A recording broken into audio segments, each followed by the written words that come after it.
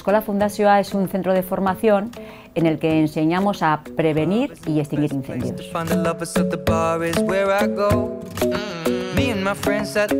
En lo que enseñamos en su escuela, eh, bueno, pues en principio todo lo que tenga que ver con la prevención de incendios y la extinción. Por ejemplo, te pongo un ejemplo, en un curso básico de su escuela.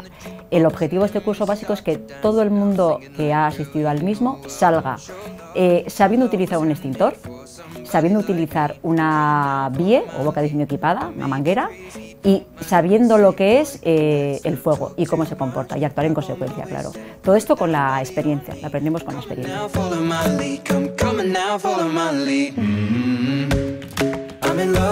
Por su escuela pasan tres tipos de colectivos. Eh, el primer tipo de colectivo es cualquier persona que quiera aprender a utilizar un extintor o una vie. Pues todos tenemos en nuestras casas extintores o nuestras empresas, en los garajes. ¿Sabemos utilizarlos? A veces sí, a veces no. Entonces, cualquier persona que le interese saber utilizar un extintor o una vie o que quiera eh, aprender a actuar en caso de incendio, viene a su escuela. Segundo colectivo, las empresas. Las empresas, claro, el objetivo de las empresas es aprender y formarse en prevención de riesgos laborales. Entonces, en las empresas hay brigadas de primera intervención, segunda intervención, que tienen unos papeles muy claros en el plan de emergencias y entonces vienen a su escuela para, según las tareas que les toque hacer frente a un incendio, pues poder formarse y adestrarse en las mismas. Por supuesto también vienen los bomberos. Entonces los bomberos, eh, los, los, eh, los, servicios de emergencias que metemos ahí, bomberos, metemos policía y metemos eh, protección civil. Entonces, ¿por qué vienen los bomberos? Porque la instalación permite hacer fuego, porque los bomberos necesitan una formación muy especializada desde el principio y luego tienen que mantener la formación que tienen durante toda su carrera laboral. Entonces impartimos formación inicial de nuevo ingreso y formación de reciclaje.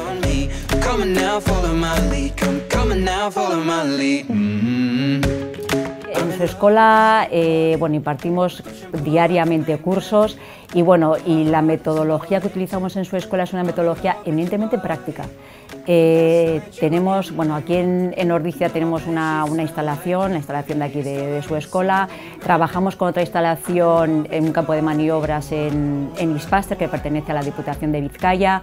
Y entonces, claro, como ya tenemos las instalaciones ad hoc, lo que intentamos es aprovechar a tope las instalaciones y por eso los cursos son eminentemente prácticos. Es decir, de un curso, imagínate que dura, eh, que tiene una duración de cuatro horas, eh, estamos una pequeña introducción la hacemos al principio del mismo en Gela, una pequeña píldora de teoría, pero el resto eh, la pasamos en los escenarios, evidentemente, porque entendemos que, que, a través de las experiencias cuando interiorizas conocimientos. Si tú practicas una cosa varias veces, al final tienes la seguridad de que vas a hacer bien. No es igual decir o, o que te digan, mira, el extintor hay que utilizarlo así, y te lo digan y no lo hagas, que practicarlo por lo menos dos veces en un curso. Entonces ahí ya coges seguridad.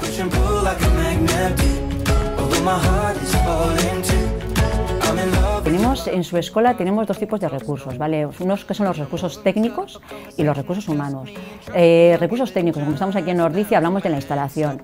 Y la instalación que tenemos aquí en Nordicia es una instalación pues puntera, es pionera. A nivel estatal solo existe esta instalación.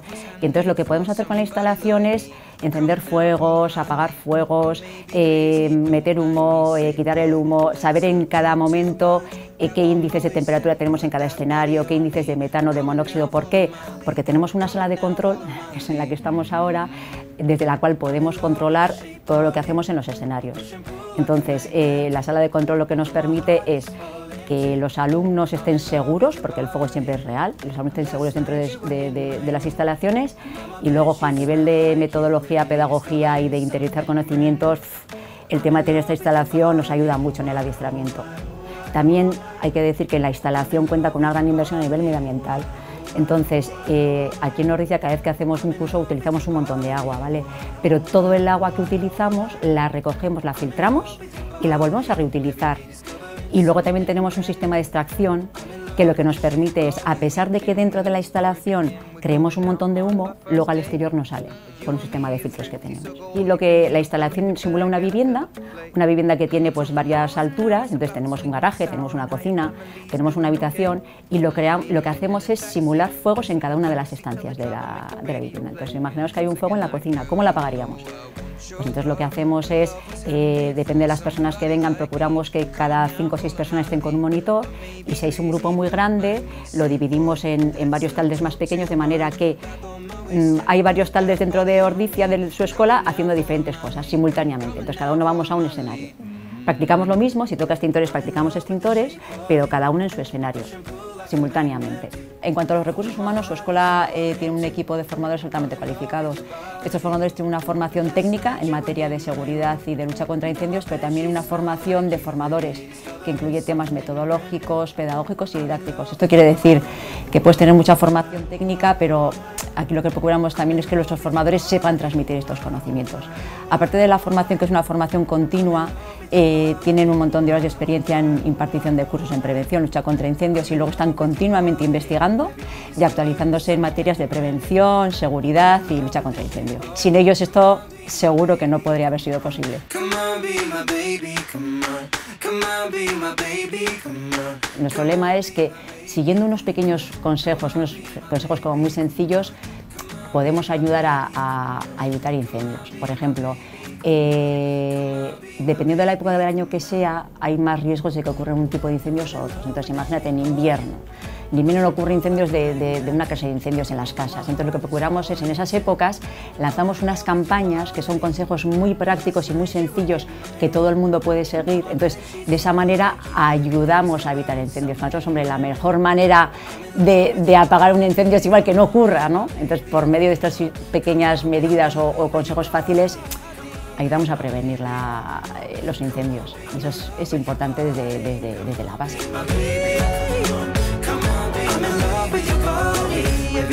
Y me gustaría también aprovechar estos momentos para agradecer a, nuestros patrón, a nuestro patrón, la Diputación de Guipúzcoa, a colaboradores como Smutualia, Videlán, Orcli y eh, patrocinadores como Baisa Susay, Productos Mesa, Transportes Vicuña y Lavandería Lizarra. Sin ellos esto tampoco hubiera podido ser posible. Muchas gracias.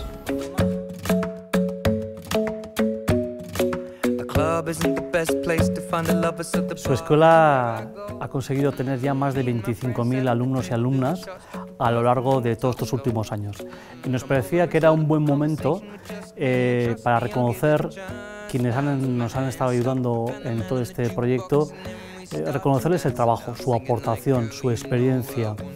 Eh, por tanto, hemos querido homenajear y mostrar un pequeño detalle a nuestros clientes, patrocinadores, eh, aliados, en, definitiva, un momento para que podamos de alguna manera reformular y volver a, confiar unos de, otros el trabajo que hacemos en su escuela.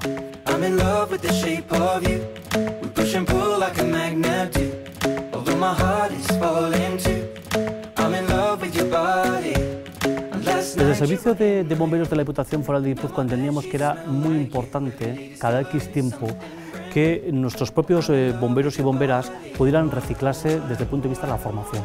Y para ello se organizó fundamentalmente su escuela y para ello se montó un centro de formación pionero en Europa. Pero a lo largo de, este tiempo también hemos querido abrir las puertas a las empresas del territorio para que formen a sus trabajadores y, trabajadoras, también a los centros de formación. Eh, el mundo de la Icastola también viene a su escuela a formarse para prevenir, porque al final para que podamos prevenir eh, grandes incendios o podamos saber cómo actuar cuando hay una gran catástrofe, lo mejor es la formación y la prevención.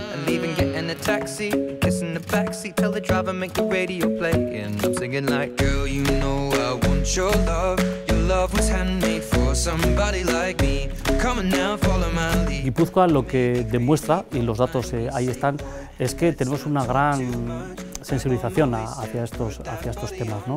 y por tanto se invierte mucho las empresas en formación y creemos que eh, todo lo ligado a la gestión de las grandes eh, catástrofes y en el apartado de incendios pues es también importante el esfuerzo que están haciendo las empresas, las asociaciones, eh, las diferentes instituciones también que comparten con la Diputación Foral de Guipúzcoa la formación de sus trabajadores y trabajadoras.